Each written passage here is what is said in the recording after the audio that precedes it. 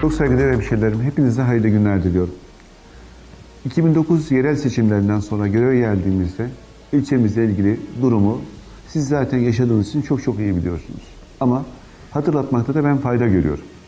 Şöyle ki, malumlarınız Esenboğa kavşağından Çubuğa kadar olan yol sati kaplama bir yoldu. Şu an Allah hamdolsun seçimde söz vermiştik. 6 şeritli yol haline geldi. Çubuk'ta asbestli borularla içme suyu temin ediliyordu. Hamdolsun onlar da %90 oranında değişti. Yine yağmur suyu hatları yetersizdi.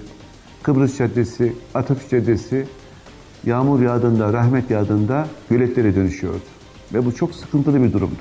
Bunun yanında pis su hatları gerçekten 85 yılında yapılmış, bir daha el atılmamış 20 bin nüfusa göre planlanmıştı. Şu an onlar da %99 oranında değişti. Merkezde altyapıya ilişkin herhangi bir sorun Allah hamdolsun yok. Ulaşım Çubuk için bir sıkıntıydı, dertti. Büyük oranda o da giderilmiş durumda. Şu an ego otobüsleri var, özel halk otobüsleri var ve konforlu yolla ulaşım, erişim merkeze çok daha kolay yapılmakta. 34 tane yeni park Çubuklu sevgili çocuklarımızla buluşturuldu. Çok çok önemli bu hizmetler. Çünkü merkezde birkaç tane park var ama periferde merkezin dışında parklar yoktu. Şu an hamdolsun onları da yapmanın büyük bir keyfini yaşıyoruz. Çünkü çocuklarımız bizim geleceğimiz onlara söz vermiştik.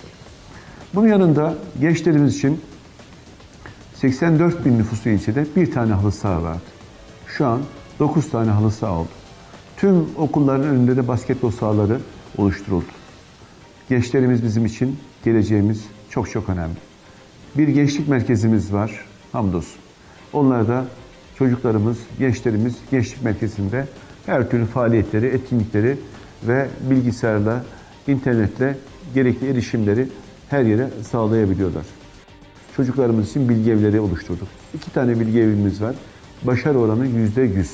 Fen lisesini kazanan çocuklarımız var. Bunda gerçekten ne kadar isabetli olduğunu da söyleyebilirim.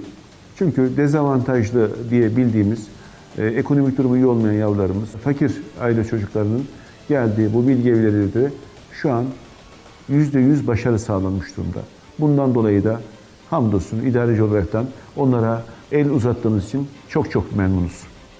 Şimdi ilçe üniversite şehri olacak diye ifade etmiştik. Yıldırım Beyazıt Üniversitesi'nin Çubuk'ta kurulmasıyla da 5. Devlet Üniversitesi kurulmasıyla da ilçemiz üniversite şehri oldu. 300 kişilik bir yurt tadil edildi. 560 kişilik de yurt hemen yapıldı. Ve şu an 10 tane fakültesi olan, 3 tane yüksek okulu olan, konservatörü olan Yıldırım Beyazıt Üniversitesi devasa kampüs inşallah Çubuk'ta temel atılacak. TOKİ tarafından da hızlı bir şekilde bitirilecek. TOKİ dendiğinde TOKİ'nin 484 konutu bu dönemde yapıldı. Bunun yanında Aile ve Sosyal Politikalar Bakanlığı'na bağlı 100 kişilik yurt biliyorsunuz yaşlar bize emanet olan insanlardır. Çubuğumuzda 100 kişilikte yurt inşallah yakın tarihte hizmete girmiş olacak. Okullaşma oranı da derslik başına düşen e, öğrenci sayısı 45-50'lerdeydi. Biz imar planlarda yaptığımız düzenlemelerde 25 ortalaması 25 olan derslik başına düşen öğrenci sayısı inşallah Çubuk'ta oluşturmuş oldu. Buna ilaveten bu ilçede gerçekten ilçenin makus talihini değiştireceğimiz dediğimiz projeler bir bir hayata girmekte. Altyapı dedik sorundu, çözüldü. Yollar sorundu, çözüldü. İmar gerçekten içinden çıkılmaz haldeydi. 3-4 metrelik yollar ayıbından bu ilçe kurtuldu. Şu an 15 metrelik, 20 metrelik, 30 metrelik yollarla bu ilçe gerçekten yaşanabilir bir kent oldu. Doğalgaz. Doğalgaz inanın 1795'ti geldiğimizde doğalgaz abonelik sayısı. Şu an 35 bin abone olabilecek duruma geldi. Ama abone sayısı 14 bin. Yeterli değil ama biz bunu artırmak için de adeta kampanyalar yapıyoruz.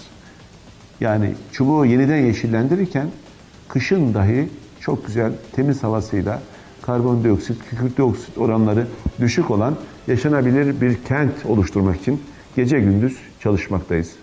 Biz Sayın Başbakanımızdan inşallah imar planlarında metro istasyonlarını koyduk. Esenboğa Havalimanı'na gelen metronun da ikinci etabının Çubuk ilçesine ulaştırması için İnşallah Sayın Başbakanımız hizmet edildiğini sever. Biz kendisinden ikinci etapta metro hattını Çubuk ilçesine bekliyoruz.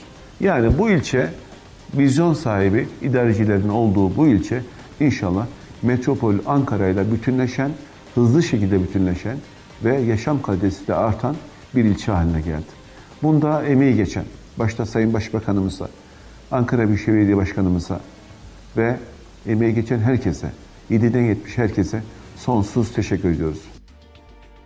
Kuzey'in parlayan yıldızı Çubuk, ilçesine sevdalı belediye başkanı, halkı ve belediye çalışanlarıyla hiç durmadan yükselmeye devam ediyor.